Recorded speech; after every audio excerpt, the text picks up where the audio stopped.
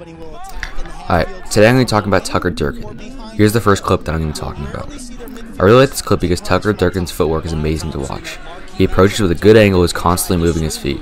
Also, in Lyle of the swim dodge, Tucker sticks already in his hand so he's able to completely deny the move. After that, he plays body and takes the ball away. If you're new at lacrosse, always play body and focus on the hips. The second clip, we see Lyle dodging from X and Tucker's guarding him. I really like the way that he's constantly moving back with him and is able to sense that he is a GLE and close the gate and make Lyle roll back. Making your defender roll back to GLE is the best thing you can do as a defender when playing from X. In a perfect world, a man would be a coma slide coming from crease to stop a man.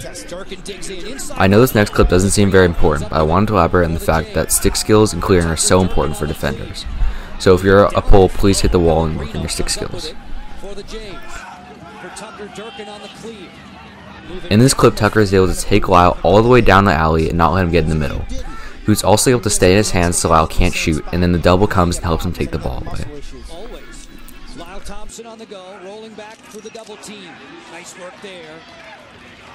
Here's another clip where Tucker's playing Lyle near the midline, and he's able to stay in Lyle's hands and bring him all the way down the alley without allowing a good shot. On this clip, I want you to watch Tucker's footwork.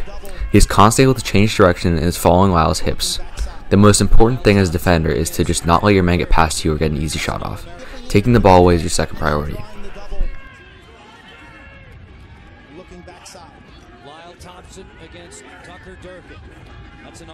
I just want to note in this clip how well the defender is able to go from running down the field to completely changing direction and breaking down.